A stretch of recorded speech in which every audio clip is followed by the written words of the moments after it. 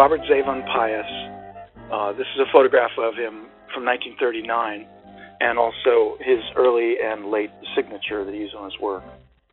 This is a portrait of a famous tenor, Roland Hayes, 1932, and he was featured in a lot of African American publications. And this was the drawing that uh, won him uh, an award. This is a portrait of Richard Barth, um, and it shows his ability to um, work in pastels in a painterly fashion. This is from 1938. This is the American Negro Exposition, 1940. It was a poster in Chicago, and uh, it captures a image of a, a proud black man and black woman, and it celebrates the accomplishments of African Americans in science, agriculture, law, and the arts.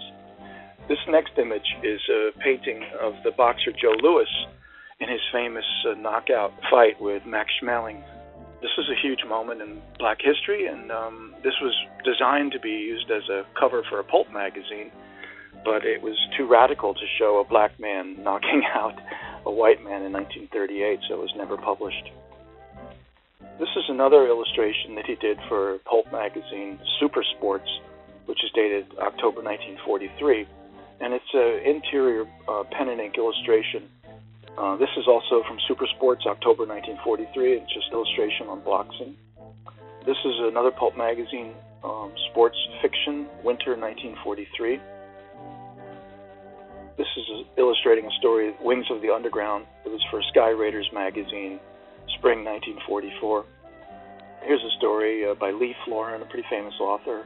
I Fight for Fallen Norway for Sky Raiders, spring 1944. So these are um, fictional stories that appeared in monthly pulp magazines. This is um, Blue Bolt, which was a pretty famous comic book from the Golden Age. It's December 1945 most people who are fans of R.S. Pious are fans of him because of his work for comic books. This is a portrait of Harriet Tubman. It was oil on canvas, done in 1941, it was done, you know, during the civil rights movement. A classical bearing of great dignity and uh, as well as defiance and determination. This is a um, advertisement for Lucky Strike cigarettes that appeared in Amsterdam News Jan- January 25th, 1958.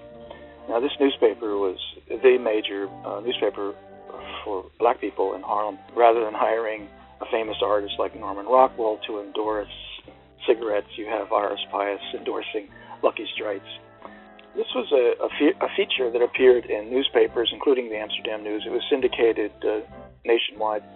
It appeared in 1968, and it, it was called Heritage It's just showing you a historic figure and what they accomplished and sort of celebrating his accomplishments.